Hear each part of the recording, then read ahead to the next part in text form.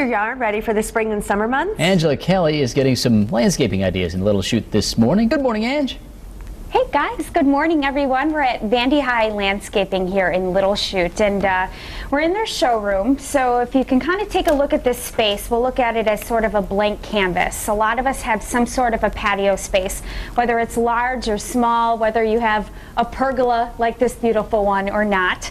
We have some tips for you. This is David Dorn. He's the d- design consultant here. Good morning to you, morning. David. Morning. So what are what's our, our first tip here to spruce up a patio space? The main thing to keep in mind is you're going to design just like you would if you were in your own home. You're going to worry about space, the size, scale, and color. Okay, so we have our assistant Chad here working. What, what's he doing to, to spruce it up? He's setting the table. He's using some brightly colored placemats, and he's going to be adding dinnerware, which coordinates with those placemats, and glasses. Okay, but it doesn't have to stop with the table. It doesn't. We have to worry about the surrounding space as well. So what we're going to do is in the far corner, we're going to add a tree for some color and some softness. Okay. And these are certainly popular. We're seeing these everywhere now. Hanging plants. Yes, we're going to add a hanging plant, which coordinates with the table. Okay. And also, we can't forget live potted for add color.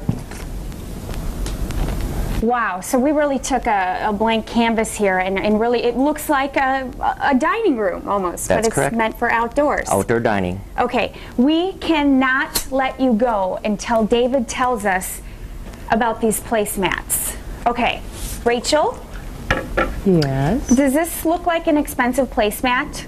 Yes. Sturdy? You're gonna love this. I know you're gonna love it. Okay, David, tell us what you did. This is recycled vinyl tablecloth. Like, you know, vinyl tablecloth, like you would line for like a birthday party or something? Oh, exactly. okay. We didn't want to throw them away. We love the color. We wanted to use it. So what we did is got some foam core from your office supply store and stretched it over. and just use some Oh, you could masking do tape. anything. Oh, it's like my favorite thing of the morning. It's and our look at thrifty. how If it is today Thursday, it is. That that's could be our a thrifty Thursday tip for the day. Yeah, absolutely. And look Love what it. it. can do. Love it. And Yeah. is the thing above you called a pergola? This is the pergola. You were right. Yes. Wow, you're and I smart. want one too. okay. Yeah. I mean, who doesn't? Oh, I, well, I do now. Now you now you need one.